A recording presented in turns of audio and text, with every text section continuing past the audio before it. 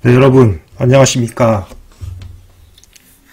온보인 TV의 지식 소믈리의 서가산입니다. 네, 제가 살다 살다 갑오징어 얘기를 방송에서 하게 될지 몰랐네요. 여러분 갑오징어 좋아하십니까? 음, 여기 지금 전 남해 근처에 살고 있는데 남해 근처엔 갑오징어 많아서 음, 저 마량 항구라고 하는데 근처에 있어요. 그래서 가서 가끔 회를 사서 먹는데 진짜 엄청 맛있거든요. 근데 그런 갑오징어가 놀라운 지능을 가지고 있다. 뭐 이런 소식이 있어서 여러분께 어, 전해드리려고 이 소식을 준비해 왔습니다. 일단 갑오징어가 뭔지 알아보고 갑오징어가 어떤 능력을 가지고 있는지 한번 알아봅시다. 자 여러분 어, 동영상 시작하기 전에 제 채널을 구독해 주시면 영광이겠습니다. 예. 여러분 구독하면 뭐 공짜 공짜인데 구독은 그죠?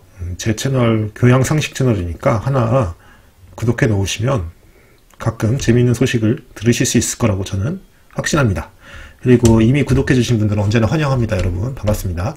자 여러분 갑오징어가 뭐냐? 갑오징어는 말 그대로 갑이 있어서 갑이 있는 오징어입니다 갑. 속 안에 뼈가 들어있죠. 그쵸? 신기하죠 그죠? 여러분 있잖아요. 오징어라고 하는 거는 사실은 여러분 앵무족이랑 조상이 그 공통조상을 가지고 있습니다 맹무족이 아십니까? 그러니까 오징어도 옛날에는 이 껍데기가 있었다는 거죠. 단단한 껍데기에 둘러싸여 있는 동물이었는데 점점 껍질을 벗어 던졌겠죠. 왜 그러냐? 뭐 어, 떤 다른 동물을 잘 잡아먹기 위해서일 수도 있고 아니면 잘 도망가기 위해서일 수도 있는데 둘 다일 수도 있고요. 그래서 이렇게 이런 식으로 진화를 했는데 이 오징어류가 가장 지능이 높습니다. 연체동물 중에서. 예. 그리고 가장 뭐 이동 속도도 빠르고요. 그렇죠? 예. 그리고 자기 몸을 막 색깔을 막 변화시킬 수 있고 그렇죠. 예. 갑오징어는 여러분 사실 개체수는 많아요. 아직 그 뭐 멸종 위기나 이런 건 아닌데 그래도 보호 너무 많이 잡거나 그러면 안 되겠죠, 여러분. 관, 관심 필요로 돼요. 관심이 필요합니다. 갑오징어는요. 어, 갑오징어과에 속하는 동물로, 동물로서 흔히 갑오징어라 일컬어지는 생물 가운데서 가장 몸집이 크고 개체수가 많다. 그래서 몸 길이가 8에서 1.8m까지 돼. 와, 엄청나대요. 1.8m짜리 본 적이 없습니다, 저는. 아, 저 요번에 봄이 되면 좀 잡으러 나가야 되겠습니다. 갑오징어. 그래서 오징어과에 속하는 연체동물의 총칭으로 오늘날에는 오징어를 흔히 갑오징어라고도 하면서 하며 8개의 짧은 다리와 2개의 긴 초관이 있다. 그래서 이 다리들 가운데 입이 있다. 와, 신기하네. 오, 그렇구나. 그 다음에 각각의 다리와 초, 초과되는 단, 딱딱하고 거친 빨판이 나 있다. 음, 그래서 그 일종의 팔 같은 거죠, 그죠? 초관이라는 거죠. 더듬이라고도 할 수 있고 팔이라고도 할 수 있고 그렇죠. 그다음에 몸에는 갈색의 가로줄 무늬와 자주색 반점이 있고요. 햇빛을 받으면 금속성 광택을 내고 자주 몸 색깔을 바꾼다. 몸 색깔 바꾸면서 소통을 한다고 하죠. 음. 그래서 눈이 좋은, 좋은 것 같습니다. 오징어는요. 오징어류는 눈이 좋아요. 몸통은 달걀 모양이다. 그래서 둘레는 어, 주름 장식처럼 아가미가 둘러싸고 있다. 근데, 근데 중요한 건 역시 갑오징어 내골격이죠. 해면질과 백각질로 되어 있는 갑오징어 뼈란 내골격이 있다. 음. 그래서 칼슘 성분이 많고 음, 그렇다고 하죠. 어. 그 다음에 뭐 그렇게 돼 있는데 근데 제, 이제 음, 재밌는 건 이겁니다. 예.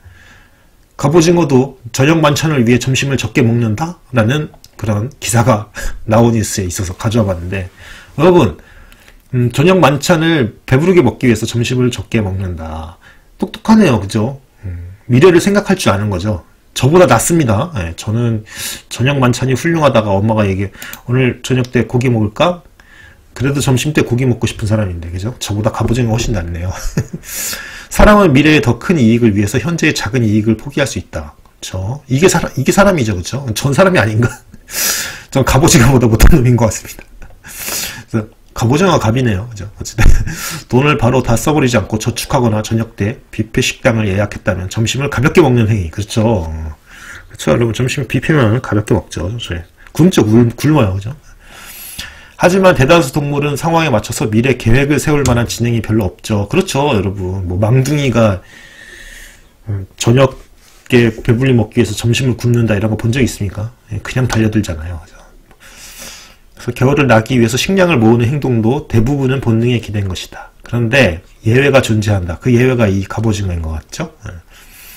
그래서 갑오징어가 학습을 통해서 미래를 예측하고 행동을 바꿀 수 있는지 연구한 결과 음, 무척 그러니까 연체동물 가운데서 갑오징어도 되게 지능이 높으니까 이제 얘네들 대상으로 실험을 했다 이거죠.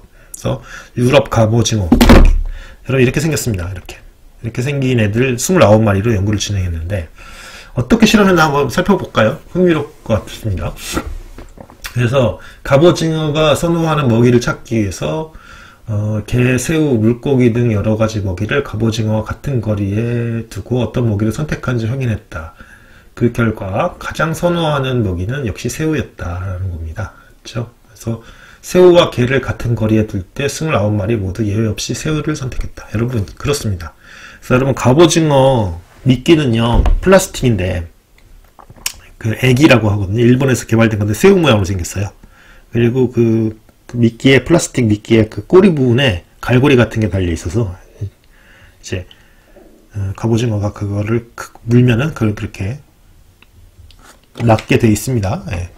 그래서 어쨌든 새우와 개를 이용해서 갑오징어의 지능을 테스트했는데 연구팀은 갑오징어에게 점심 때는 충분한 양의 개를 주고 저녁 때는 새우를 줬다. 그러니까 점심 때는 별로 선호하지 않는 개를 주고 저녁 때는 새우를 줬다고 하는 거죠. 그런데 점심 때 게를 많이 먹으면 저녁 때는 이제 배가 불러서 새우를 더 좋아하는 음식인 새우를 충분히 먹을 수 없다는 거죠. 그러니까 갑오징어들은 점심 때 게를 조금 먹는 식으로 환경에 적응했다고 하네요.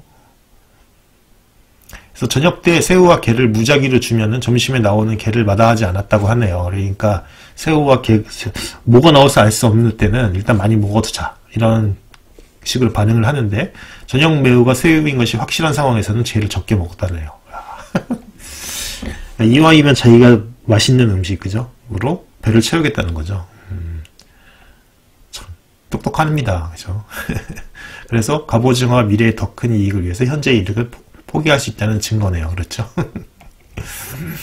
네, 그래서 그렇다는 거고 근데 왜 이렇게 그러면 갑오징어가 똑똑하냐? 척추동물은 매우 발달된 중추신경계를 가지고 있죠. 예를 들어서 포유류라든지 뭐, 뭐 파충이라든지 이런 거 다 척추동물이죠. 그런데 두 종류 그러니까 오징어, 문어 이런 것들은 어, 그 연체동물 예를 들어서 뭐가 있죠? 조개 같은 거, 이메페류, 조개나 가리비 같은 거는요, 신경계통이 이렇게 발달되어 있지 않잖아요. 그래서 수동, 수동적으로 반응하지만, 여러분, 그, 오징어라든지 이런 것들은, 문어 이런 것들은 아주 뭐냐면, 부드럽게 움직여야 되고, 위장술도 사용해야 되고, 뭐, 다른, 어, 저기, 그, 동물들, 물고기 같은 걸 잡아먹기 위해서 굉장히 빠른 이동 속도와 빠른 반응 속도를 가져야 되잖아요. 그래서 이 두 종류는 크고 잘 발달된 중추신경계를 가지고 있어서 웬만한 척추동물 부럽지 않은 지능을 자랑한다고 하는데 실제로 그렇습니다. 문어, 문어 같은 거 굉장히 지능이 높아요. 예를 들어서 문어가 다양한 사물을 인지하고 상황에 맞게 감쪽같이 흉내내는 것도 높은 지능이 없다면 불가능하다. 그래서 이 문어가 똑똑하다는 건 이미 잘 알려져 있는 사실이었는데 이 지금 연구를 통해서 갑오징어도 그 만만치 않은 아주 그런 지능을 지녔다라는 것을 알 수 있습니다.